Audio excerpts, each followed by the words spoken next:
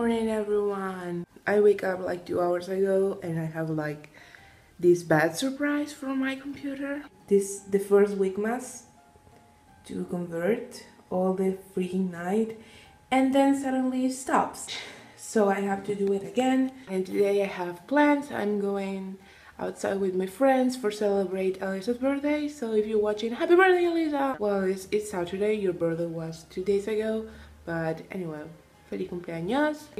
I think we see outside, but with another camera because this one can stay outside now. But I want to bring you guys with me, so we see you later.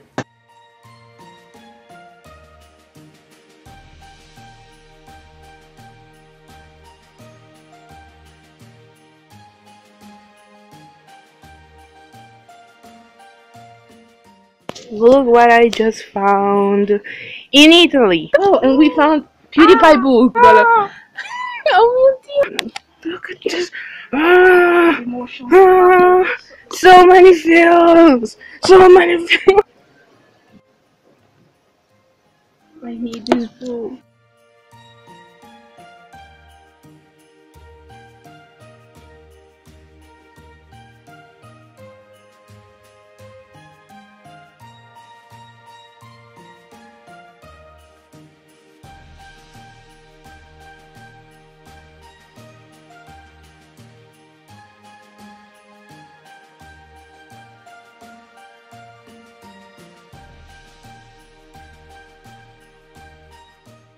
It's like 2 a.m. I guess and I was editing the video I spent the whole day outside and that was tired for me but yeah I'm going to sleep and we see tomorrow and I don't vlog on Sunday because on Saturday when I was out and I found an amazing book is on fire and I freak out for like 30 minutes I woke so much. I walk since like 2 p.m. until midnight.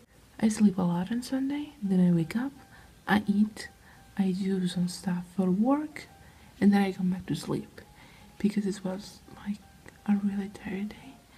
But yeah, today I just wake up early and start to do more stuff, and here I am. I'm going to sleep. I don't have plans for tomorrow. I think I'm just gonna work on the video again and yeah good night beautiful people. Okay that's beep was like it's 2 a.m so yeah i have to go. I love you all and we see tomorrow. Bye. That's my finger.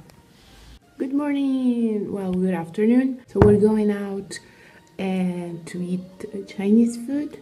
So i can wait it's like a long time since i eat chinese food for the last time. So yeah let's go